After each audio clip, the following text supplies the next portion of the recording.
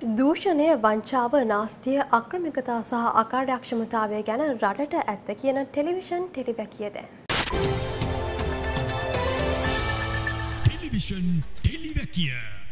අද ලියන්නේ හාරසියතිස් අටවැනි ටෙලිවැකිය. ලියන්න නම් මාතෘකා එමටයි. ඒත් අද වගේ දවසක දෙදහස් නමේ වර්ෂයේ ජනවාරි අටවෙනිද ගැන ලිව්වේ නැත්නම් ඒක මාධ්‍යවේදියකු ලෙස මට පෞද්ගලිකොම ලැජ්ජාවට හේතුවක් වෙනවා. එසේ මැයි මාධ්‍ය ආයතනයක් ලෙසත් ලැජ්ජාවට කරුණක්. එනිසා අද ටෙලිවැකිය වෙන් කරන්නේ දෙදස් නමේ ජනවාරි අටවෙනිදා දෙහිවල අත්තිදියේදී අධි ආරක්ෂිත කලාපයක් ඇතුළේ මහද දවල් මරා දැමූ ලසන්ත වෙනුවෙනුයි. ලසන්තව මරලදාලා අදට අවුරුදු පහළවයි. ලසන්තව සිහිපත් කරමින් අද බොරැල්ල සුසාන භූමියේදී ඔහුගේ සොහොන අභියස ඉටිපන්දන් දල්වමින් පුෂ්පෝ පහර දැක්වීමක් අද සිද්ධ කළා. ලසන්ත ගහතනයෙන් කලකට පසු. එවකට ආරක්ෂකලේකම් ගෝටාබේ රාජපක්ෂ විදෙස් මාධ්‍යවේදියකු සමඟ පැවත්තු සම්මුඛ සාකච්ඡාවකද ඇහ්වා හෝඒස් Lasantha.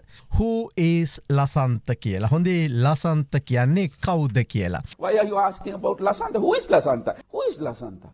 Who is Lasanta? Tell me, what's, what's important of him?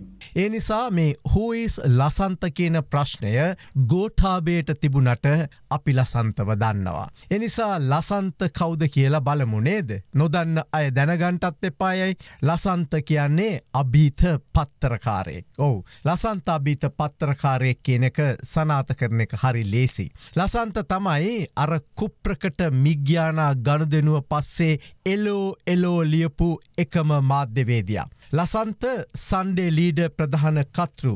ඔහු මාධ්‍යවේදියෙක් දේශපාලනක්යෙක් විකාශකයෙක් මානවහිමිකම් ක්‍රියාකාරිකයෙක්. අරක්කු වීදුරුවට බෝතලේට යාලු මිත්‍රකම්වලට යටවුණේ නැති අභිහිත පෑනක් අත දැරුවෙක්. මිග්‍යානා ගණු දෙනුව ගැන මතක් කරන්නේ නැතුව ලසන්ත ගහතනය ගැන කතා කරන එක විහිළුවක්. හොඳේ දෙදස් හයේදී ඔය ගුවන් හමුදාවට මේ යුක්්‍රේණයෙන් මිග් විසිහත ප්‍රහාරකයානා හයක් මිලට ගැනීමේ යෝජනාවක් ආවා. යෝජනාව ගෙනාවේ ආරක්ෂක අමාත්‍යංශයෙන් බව තමයි එදා වාර්තා වනේ. මේ ප්‍රහාරක මිග් විසිහත යානා හය ගන්න යෝජනා කරලා තිබුණේ යුක්්‍රේණී. එදා ගුවන් හමුදාපතිව සිටිය ඩොනල් පෙරේර. ඔහු මුලින්ම මීට විරෝධය පල කරලා තිබුණා. ඔහු කියලා තිබුණේ අපි මේ ඇමරිකාව ඊශ්‍රයිලයේ හෝ වෙනත් රටකින් ගමු කියලයි. මොකද හේතුව දෙදහ වර්ෂයේදී. ඔය යුක්්‍රේණයෙන් ප්‍රහාරක මිග්‍යානා අරන්තිබුණ. ඒවයේ බරපතල දෝෂ අඩුපාඩු තිබුණා. ඒකයි එහෙම කියන්ට හේතුව.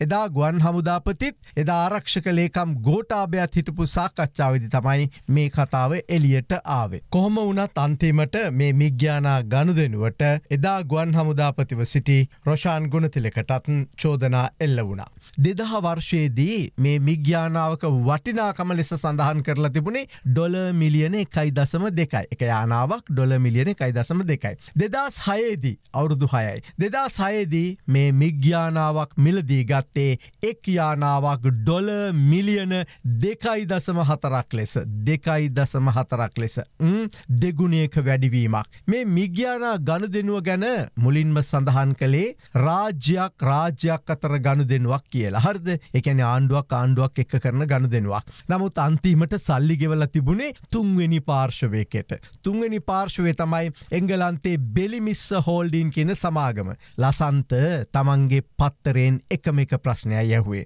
ඔහු ඇහුවා රාජ්‍යයක් රාජ්‍යයක් අතරනම් මේ මිග්ගණු දෙනුව සිද්ධ වෙන්නේ එකැනෙ ලංකාවයි යුක්්‍රේණය අතරනම් ඇයි මේ බෙලිමිස්ස කියලා සමාගමකට තුන්වෙනි සමාගමකට සල්ලිගෙව්වේ කියලා. තවදුරටත් මේ ගැන වාර්තා කළ ලසන්ත අන්තිමට හෙළිදරව් කලා එංගලන්තේ ඔය කියන ලිපිනේ බෙලිමිස්ස කියලා සමාගමක් නෑ කියලා හොඳේ මේ අතර එදාරක්ෂ කලේකම් ගෝටාබේ ලසන්තට එරහිව නඩු දැම්ම. ලසන්ත මිග් විසිහත ගණ දෙනුවට තමන්ව සම්බන්ධ කරලා අපහස කරනවා කියලා තමයි ගෝටාබේ නඩු දැම්මේ. ලසන්තට මික් ගණ දෙනුව ගැන ලියන්ට බැරිවෙන්න ගෝටාබේ වාර්ණයකුත් ගත්තා. ලසන්තත් අතහැරිය නෑ වැඩේ හොඳේ ලසන්ත ගියා අභ්‍යාචන අධිකරණයට ආං ඒ අතර තමයි දෙදස් නමේ ජනවාරි අටවිනිද ලසන්තව ඝාතනය කළේ. ඊට පසුව යහපාලන ආණ්ඩුව එකැනි රනිල් මෛත්‍රී ආණ්ඩුව. ලසන්ත ඝාතනය හරිශෝකෙකට විකුණ ගත්ත හොඳේ චන්දය ගන්න. සාටකයක් ඝාතකයා කියමින් තමයි එදා වේදිකාව දෙවනත් කළේ සාටකයා ඝාතකය. හරි ලසන්ත ඝාතනය ගැන යහපාලන ආණ්ඩුව යළි පරීක්ෂණ ආරම්භ කලා. ඒ පරීක්ෂණවලදි තමයි හෙළිවුණේ යුක්‍රේන ආණ්ඩුවේ කතාව. යුක්‍රේන රජය කිව්වා මික්ගන් දෙනුවට තමන්ගේ රජයේ කිසිම සම්බන්ධයක් නෑ කියලා. හොඳේ එදා ලසන්තගේ අවමගුල් උලෙලෙදී අද වත්මංචානපති රනිල් කළ කතාවෙන් පොඩි කෑල්ලකට සවන් දෙමුණේද. ලසන්ත වික්‍රමතුංග ජනතාව මර්ධනය කරේ නෑ. ජනතාව මර්ධනය කරන එක හෙළි කර.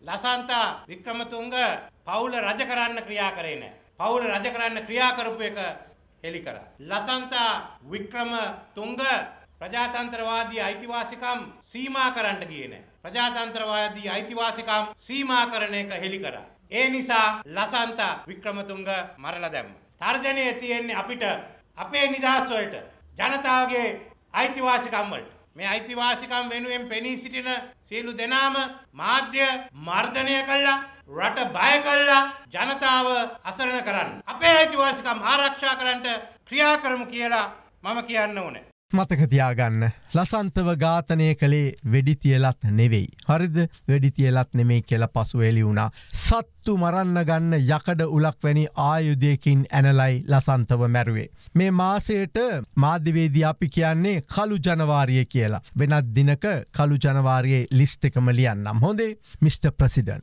මිට. ප්‍රසිඩන්. ලසන්ත ඔයාගේ හොඳ යාළුවෙක්. මිනිසෙකුගේ අවසන් මොහොතේ දේහේළඟ දෙන පොරොන්දුවක්වත් ඉෂ්ට කරන්ට තරම් ඔහේලා යහපත් යුක්තිගරුක වුණේ නෑ කියන එක අදලියන්ටම වෙනවා. හෙන්රි පේදරිස් ගැන හොයන්ට කමිටුදාන ජනපති රනිල්ට අපි කියන්නේ. පුළුවන්නම් සාටක ගහතකින් ගැන හෙළිදරව් කරලා අවුරුදු පහළවා ගිය තැන හෝ ලසන්තට යුක්තිය ඉෂ්ට කරන්නට කියලයි. හැබැයි මං එහෙම ඉල්ලුවට මගේ පෞද්ගලික වාක්‍යයකුත් හෙළියලතියන්ටම් හොඳේ කරයි කියලා තමයි බය හරිය එහෙම යුක්තිය මේ දේශපාල නඩෙන් ඉෂ්ට වුණොත් ඒකැන්නේ ලසන්ත ගාතකින් නැල්ලුවොත් හොඳේ ටෙලිවැකියට කියන්ට හරිය කියලා ටෙලිවැකිය අවසන් කරන්නේ එකක් මතකතියාගන්න හැම ගාතකයකුම දවසක මැරෙන්නේ විඳෝල කියලා හැම ගාතකයකුම දවසක මැරෙන්නේ විඳෝල කියලා මතකතියාගන්ට කියලා ඔන් ටෙලිවැකිය අවසන් කලා.